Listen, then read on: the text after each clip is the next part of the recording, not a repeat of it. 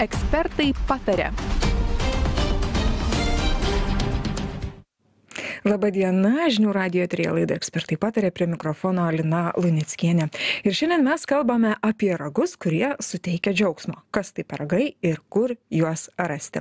O jeigu konkrečiau, tai kalbame apie elninių gyvūnų ragų paieškas, kada metami ragai, kada prasideda jų paieška, kieno ragai yra vertingiausi ragų radimo tradicijos ir kultūra Lietuvoje, ar Lietuvos miškai gausus numestais ragais, kaip turėtume elgtis susitikę akis į akį su miško raguočių na ir kitais miško gyventojais. Ir apskritai kaip lietuvos miškas gyvena šiandien.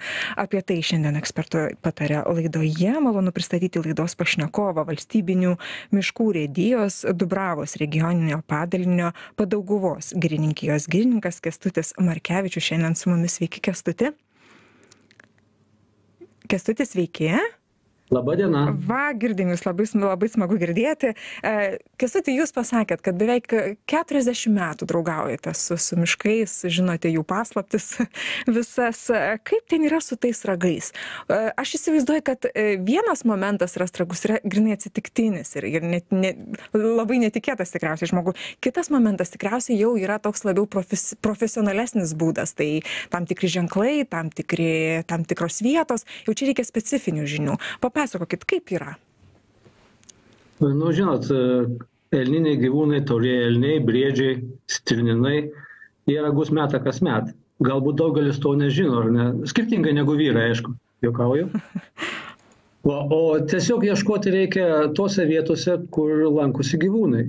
Tai šiuo metu yra laukai, kurie išeina maitintis naktimis ypatingai. Ir kaip pastebėjau, bent jau paskutiniais metais labai daug žmonių važiuoja tiesiog švintant su žiūronais, su termovizoriais, stebi, kurioje vietoje lankosi tie gyvūnai. Ir toliau eina palė laukus ir tiesiog randa, ieško tų ragų. Ir dar toks pastebėjimas, kad kur yra grioviai, gyvūnas šokdamas prie griovio taip pat numeta ragą ir numetus jeigu krinta vienas ragas pas taurųjį elnią tai be abejo į kitas ragas jam sveria galvą tai šalia reikia ieškoti jeigu dideli ragai ir antro rago. Mhm, Kęstuti, kaip... mhm. o pagal laiką tai briedžiai meta gruodžio mėnesį patys stambiausi gyvūnai. E, taurieji elniai pradeda vasario mėnesį mest ragus stirninai dar anksčiau lapkričio mėnesį ir sakysim galbūt daugelis e, klausytojų nežino bet e, tie gyvūnai elniai užaugina ragus per pusę metų. Gana labai greitai įsivaizduokit to kokio dydžio ragus užsiaugina gyvūnas per pusę metų ir mes kalbam jau apie tą gražų vainiką didelį ar ne stambų ne ne ne tuos mažiukus kur du dvi atšakėlės per pusę metų tokią vat karūną turi briedis. Be abejo jauni jauni ragai e, jauni gyvūnai užaugina taip pat per pusę metų bet sakysim būtent ir tuos didžiausius ragus kadangi gyvūnas yra kuo didesnis iki brandos iki dešimties metų jisai užaugina tai ką jūs sakot didėją didžiąją karūną didžiuosius ragus. Ir vėl numeta po pusmečio. Kęstuti jūsų vat istorijoj jūsų gyvenime kokią didžia kokią kokius didžiausius žmogus esat e, radęs? Čia gal kad įsivaizduotų klausytojai tai nežinau gal a apimtį kokią ar svorį? Pagal ką įvairiai įvairiai žinokit skaičiuojama yra pagal svorį e, ra- e, taurio elnio ragas jeigu jisai sveria penkis šešis kilogramus tai jis yra labai stambus jau stambaus gyvūno. Taip pat ir briedžio o šakų skaičius skirtingai nes skirtingi ragai yra. Briedžių yra šakutaragiai yra mentiniai ragai E, el- Taurio elnių yra, žinot, šakoti visai skirtingi. Ir, sakysim, jeigu briedžių ragus mes galime naudoti papuošalų gamybai, nes jie yra pilna viduriai. Tai tauriojo elnių tiesiog kaip pošmena, galbūt baldų gamybai, nes jie yra korėti. netgi paskirtis skiriasi ar ne Be abejo. kęstuti e, reziumuojant tai ką atsakėte prie prieš tai tai ragus galima rasti ne tik miške bet ir kaip sakėte ir ir laukuose ir netgi prie griovių Kadangi gyvūnai maitinasi laukuose naktį, daug laiko tenai praleidžia, o į savo vietas eina atsigulti, sakysim, tokius trumpą laiką, ar ne, tai dauguma jų nuvesta yra laukuose. Ir reiktų tiem žmonėm, kurie eina ieškoti labai, nu, tiesiog žinot pačią gyvūnų biologiją. Kadangi taurieji elniai, jie patinai būna savo grupėse, patelį savo grupėse. Ir neretai būna taip, kad žmonės randa pėtsaką ir seka visą dieną ir tenai pasirodo, kad yra patelių grupė ir tenai tikrai ragų nebus. kęstuti kiek ilgiausiai sekėte pėdsakais ir radot ragą nu žinokit pėdsakais neseku aš e, esu galbūt e, toks kaip pasakyt stengiuosi kad gyvūnai dienos metu ramiai jaustųsi ir e, netgi miško lankytojų prašau kad sakysim kad jie paskaitytų būtent kaip atrodo elnių patinų pėdsakas pagal ką atskirt kad tai elnias nuėjęs kad tiesiog kitų gyvūnų gyvūnų nu dienos metu netrukdyti o šiaip ragai jie eini palei griovį eini palei lauką kažkur tai palei linijas jaunuolynus ir specialiai mes jų neieškom kadangi miškininkai daugiau daug daug laiko praleidom miške taip kad savaime taip išeina kad randam vieną kitą. Bet jūsų patarimas yra būtent ne dieną ieškoti, o vakare. Taip aš suprantu, kad netrukdyt gyvūnams. ne e, ryte ryte palei laukus Rytais tiesiog. Mhm. tiesiog pažiūrėti paskaityti kaip atrodo pėdsakas kaip atrodo ekskrementai pagal ką galima nustatyt kad tai yra patelė ar patinas ir sakysim nu tiesiog tiesiog stengtis nevaikyti patelių kadangi jos yra vaikingos ir ieškoti pagal patinų pėdsaką jeigu jau taip einant miške ieškot ragų ar ne Tai čia reikia dar ir namų darbus prieš einant ragų ieškoti, atlikti. Jeigu, jeigu taip jau specialiai eini ieškoti ragų, tai turi labai labai dar ir pasidomėti visą šitą tradiciją. Kalbant apie tradicijas, ir, e, ragų paieškos Lietuvoje ar populiarios yra? Kaip jūs stebite, kaip jūs matot, ar, ar ieškoma dažnai ragų? Taip ypatingai paskutiniu metu tai praktiškai kaip ir grybavimas pasidarė ar ne ragų ieškojimas. Labai daug lankytojų turim kasmet turbūt vis daugiau kadangi e, tobulėja ir ir techninės galimybės ir termovizoriai atsiradę kaip minėjau reiškia žmonės stebi naktį kur yra patinų banda išėjus į laukus ir tada jau švintant kuris pirmas ten nubėga tas aišku ir tam ir pasiseka daugiau Čia jau kaip terapija tampa žmonėms, galima sakyti, visi ieško kažkokio ryšio su gamta ir ragų ieškojimas tampa populiaresnis vis. Kestutis, sakykite, o miš, priklauso nuo miškų, nuo vietovių, kur, kur, kur didesnė tikimybė rasti ragą, ar, ar žemaityje, ar dzukyje, miško tipas, kaip, kaip, kaip, kaip koks čia pasiskirstimas yra? Nu, taurieji elniai jie yra visoje Lietuvoje gana stipriai paplitę šiuo metu, bet laikosi vėlgi gyvūnai laikosi tenai, kur jiem yra saugiau. Tai yra lapuočių miškai, e, daugiau kur pelkės, pelkėtos vietos, kur jie turi saugų prieglupstį. Be abejo, briedžių ragai, tai vėlgi pas mus kuršių nerija, tai yra Zarasų kraštas, Utena, pagal tos rajonus. O taurių elnių mes galime rasti visur. Aišku, toliau nuo stambių, didelių miestų. Ir vat atsitiko taip, kad išėjau aš ieškoti rago. Ir sutinku aš tą gražuolį brėdį Elnę taurųjį. Ką man daryti? Bijau, bijau, kaip nežinau kas, ką daryti. Jis žiūri į mane, jis, jis svečia miško. Ir, ir va ką dabar žmogui daryti tokiu atveju? Patikėkit, nei vienas gyvūnas nėra plėšresnis už žmogų turbūt, ar ne? Taip, kad mes esam pats turbūt mūsų visi bijo, ar ne? Ir visa laukinė gamta, jie tikrai pasitrauks iš kelių, pabėgs, pasikavos. Nebus taip, kad, kad pultų, ar ne? Čia galbūt tik tai, vėlgi, čia jau liečia rojos metu, jie truputėlį nelabai prognozuojami būna peruje, bet peruje jie ragų nemeta. Ir dar toks pastebėjimas, jeigu lankytojai miške randa kritusi gyvūną, tai yra, kad ir ragoti ar ne, gražus ragai su kaukulė, tai tiesiog praneškit plotų naudotojams ar aplinkosaugai, kadangi tai yra jau kitokia truputėlį kategorija, jau tai yra nenumestas trofėjus, bet yra kritęs ar žuvęs ar subrakozeriautas gyvūnas, tai tą reikėtų žinoti. Tai sutikus raguoti tiesiog Nebijoti. Jį, nebijoti palidėti su šypsena ir, ir, ir netrukdyti jam toliau eiti jo, jo keliu. O jeigu neraguotis, o, o, o kokiu gyvūnu labiausiai miške reikėtų, na kaip pasisaugot, vengti, jokiais būdais ne, neit prie jų? Neiti prie jauniklių. Pamatėt jauniklį ir ramiai pasitraukit. Joks, kaip sakau, joks gyvūnas nepuls tikrai žmogaus, nebent jau bus labai maži šerniukai, bus kažkur tai ten lizde ar kažkas tokio ir jūs, jūs tada sudrumsit jų ramybę, tada žinoma, kiekviena mama puls ginti savo kūdikį. Ne? O, o šiaip pamatę gyvūną, stebėkite, būkite ramiai ir tas gyvūnas pats pasitrauks nuo jūsų ramiai. Man vis lieka toks klausimas, tai prisimenant tuos ragus, ar jiems skauda? kai jie, Ar skauda? ar skauda, kai jie, kai jie praranda tą, tą ragą? Na, na, mums kaip nagus lupa, taigi nežmoniškas skausmas. O kaip, su, kaip, kaip gyvūnai su ragais yra? Nežinau, ar jūs esat, tikriausiai, jeigu jau taip tiek metų su mišku draugaujate, tikrai viską žinot. Žinot, jisai tiesiog ateina, tai yra nu, biologija, tas ragas, jisai būtent ateina tas momentas, kai bet turi pradėti kiti ragai aukti, ar ne, ir jisai tiesiog nukrenta.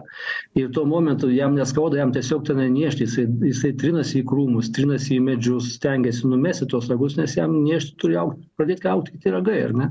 Ir kaip minėjau, jeigu stambų ragą numeti, tai radot tą didelį ragą, ar ne, tai ieškokit šalia ir kito, kadangi jam galvas vers į vieną pusę, jisai šalia kažkur tai daužys, ar ten į žemę kiša, ar į krūmus daužys. Ir pastebėjot, pastebėjot turbūt miške, kad būna nutrinti krūmai, nutrintos, e, sakysim, e, e- eglės, ki- kiti medžiai, tai vėlgi tai yra ir metimų laikotarpiu tai vyksta, ir tai vyksta tuo laikotarpiu, kaip gyvūnas valosi pantus. Mes miškininkai truputėlį pykstam dėl šitų dalykų, aišku, bet niekur nedingsi gamta. Supratau, žiūrėkit, Kestutė, na, e, mes su miškais em, lietuviai labai didžiuojame savo miškais, ar ne? E, Tikrai jų gausa, jų, jų, jų, jų grožių. Kaip yra šiandien su mūsų miškais? E, Ar mokame saugoti šį savo unikalų turtą, žaliai savo, savo deimantą? A, Ką jūs stebite? Ar mes galų gale mokame, mokame miške elgtis? Ką jūs pastebit? Linutė, žinot, aš visą laiką sakau ir lankytojams, pasitikėkit miškininkais.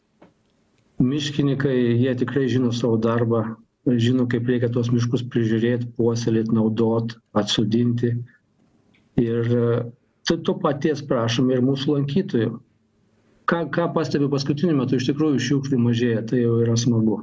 Gal po truputėlį pradėsim civilizuotai žiūrėti, nes anksčiau būdavo miškas, na, nu tai miškas ten bet ką padėsim, reiškia, o paskui tada šiukšlis dingsta ir niekas nesupranta, kad tai tie patys miškininkai eina ir renka.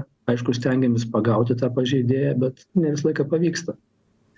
O kas liečia mūsų miškus, nu tai pasidžiaugim. Tikrai turim puikius miškus, gražius gy- ir su gyvūnais, ir visi ten rasime prieglobstį, ir polsi, ir be abejo atsipalaidavimą miške. Kęstuti, na tikrai tas miškų kirtimas irgi jautri tema yra, man, pavyzdžiui, irgi visą laiką taip atrodo, na skauda, kad kaip matau iškirstus miškus. Gal jūs galit pasakyti, kodėl kertami miškai, kad visi žinotų, ne vien tik komerciniais sumetimais, aš suprantu, yra ir tas momentas, bet ko, dėl kokių dar priežasčių yra retinami kir- kertami miškai? Kaip ir kiekvienas, žinot, kaip ir kiekvienas ūkininkas nuimdamas savo derlių, taip ir miškininkai turi savo derlių. Tai yra miškai, kurie yra neliečiami, kaip ir e, rezervatai, kertinis miškų buveinis, kur tikrai būna, kad ateina žmogus, sako, žiūrėkit, kodėl miškininkai čia niekur nekerta, čia tiek medžių privirti. Tai va tenai būtent yra kertinė buveinė ir taip atrodo miškas, jeigu miškininkai tenai nieko nedarytų. O miškininkas prie to miško auginimo prisiliečia daug kartų. Nuo pat jaunulynų ūkdymo, retinimų kirtimų iki pagrindinių plinų kirtimų. Reiškia, jeigu me- medis pasiekia savo brandą, jisai yra iškertamas, atsodinamas naujas miškas. Ir tai yra tiesiog, mes miškininkai turim dirbti pagal tam tikrus projektus. Ar ne? Tiesiog mes naudojam mišką, kaip, kaip, kaip naudoja ūkininkas grūdus, ar ne, kaip, kaip nuima derlių, taip mes ir miške dirbam. Ir tikrai, jeigu kas, kam nors kyla klausimų, sakysim, buvo viena grupė atvažiavus iš Vilniaus darbuotojų, kolektyvas ir sako, parodykit, kaip tie miškai, ar tikrai nyksta Lietuvoje miškai. Ir kaip žmonėm parodai nuo, sakysim, nuo plynų kirtimo iki atsudinto miško, iki išretintų miškų, parodai pagal amžių, amžiaus grupės, kaip tai atrodo. Ir sako, wow, matot, iš tikrųjų, miškai reiškia nenyksta Lietuvoje. Ir ką aš galiu pasakyti, vat, mes kalbam šiandien apie gyvūnus. Gyvūnas, Lietuvoje visi gyvūnai praktiškai būna jaunuolynuose, gyvena jaunulynė. Ir jūs nerasite, sakysim, kažkokiam tai brandžiam miške, kad tenai būtų ar, ar jauniklius vestų, ar dar kažką. Viskam yra savo vieta ir iš tikrųjų tuose ketvirtos grupės miškuose netgi daugiau turim gyvūnų negu tuose miškuose, kurie yra saugomi. O saugomų miškų kiek kiekvien visur yra praktiškai ir tikrai atkreipkit dėmesį užvažiuokit pas miškininkus pakalbėkit ir jum tikrai viską paaiškins. Paaiškins nuodugniai parodys netgi kaip elgiamasi su mūsų miškais. Kestuti, dar vienas momentas man dabar atėjo į galvą, kalbant apie, apie biologinį įvairovę, klimato kaita. E, mokslininkai e, tikrai skamba, skambina varpais, aplinkosaugininkai dėl to, kad, na, nyksta kai kurios e, rūšis. Ką jūs stebite? Ar miškai irgi praranda a, tam tikras a, savo biologinės rūšis, a, savo augalus kažkokius? Ką, ką jūs matot? Nu paskutiniu metu turbūt daugelis pastebėjot kad yra tiesiog yra užpulta kenkėjų eglynai ypatingai kurie gryni eglynai. Todėl ir miškininkai dabar daugumoj stengiasi sodinti mišrų medyną nes gryni eglynai praktiškai pasitrauks klimatas šiltėja kinivarpos tiesiog jeigu jeigu šiltesnės vasaros žinot medis neapsigina ar ne neužtenka sakų tai yra yra per jau šiltėja klimatas už neužtenka drėgmės ir taip yra. Ir ir vėlgi sanitariniai kirtimai ką miškininkai daro galbūt irgi ten vat visai neseniai tiesiog susidūriau su tokiu klausimu kad vienam miške padarėm sanitarinį kirtimą ir ten iš karto reiškia kažkas tai parašė postą pažiūrėkit vėl naikinami miškai. Tačiau bendruomenė prieš tai buvo informuota mes apėjom su bendruomene pasižiūrėjom kaip atrodo tas miškas ir ar mes norim kad jisai būtų kaip vaiduoklis sukristų ar tiesiog jį galima sanitariniais kirtimais sutvarkyti ir vėl atkurti. Tai dedamos pastangos, kad, kad, kad, kad kuo mažesnė žala būtų padaryta. Ir kaip suprantu, spigliuočių likimas nelabai linksmas gaunasi tokioj to... klimato kaitos kontekste. Kalba eina būtent apie eglės medynų šiuo metu gerai grįžkim dar kartą prie prie mūsų ragų. A kaip kitose šalyse? Ar ar turit informacijos? Ar ar kitų šalių? Imkim europos sąjungą imkim kanadą. A ar ar ar žmonės tenais ieško ragų? Ar ten irgi populiaru taip kaip pas mus? Visur ieško žinoma kur tiktai yra raguoti gyvūnai kurie meta ragus visur yra jų paieška be abejo. Ir e, čekijoj ypatingai ten yra tiesiog ir atskiri atskiros įmonės kur gamina papuošalus. Gal pas mus dar taip nėra populiaru bet pas juos yra ir ir man teko dabar būti parodoj dortmunde tai ten tiesiog labai daug gamintojų privažiavę kur gamina papuošalus tiek medžiotojam tiek šiaip žmonėm ir moterim tarp kitko labai gražių papuošalų padaro žodžiu žmonės išradingai su ragais elgiasi. Ir pabaigai tada baigiantis mūsų laidai kęstuti dar kartą akcentuokime pagrindinius momentus ieškant ragų. A kada kaip į ką atkreipt dėmesį ir kaip ieškoti ragų išsaugant ir gerbiant mišką ir jo gyventojus. Visų pirma susipažinti su biologija gyvūnų. Toliau laukuose pasižiūrėti pati pradžia. Laukuose dabar ypatingai vasario pabaiga ar ne? Tai kur kur rapsų laukai cukrinių runkelių laukai palei griovius. Ir tiesiog elkimės mandagiai gamtoj ir tikrai rasim ir ragų ir būsim pagarbūs gamtai ir sau. Dabar pats laikas ieškoti ar vis dėlto dar palaukti? Vasarį vasario į antrąją pusę tai sakysim elni būtent tauriųjų elnių. Briedžio briedžio ragus jau numetę noriu dėkoti jums už pokalbį žinių radijo klausytojams primint kad šiandien laidoje ekspertai pataria. Mes kalbinome valstybinių miškų urėdijos dubravos regioninio padalinio padauguvos girininkijos girininką kęstutį markevičių. Ačiū jums. Laidą vedžiau e, lina aš lina luneckienė jūs ir toliau likite su žinių radiju gražių jums dienų. Ekspertai pataria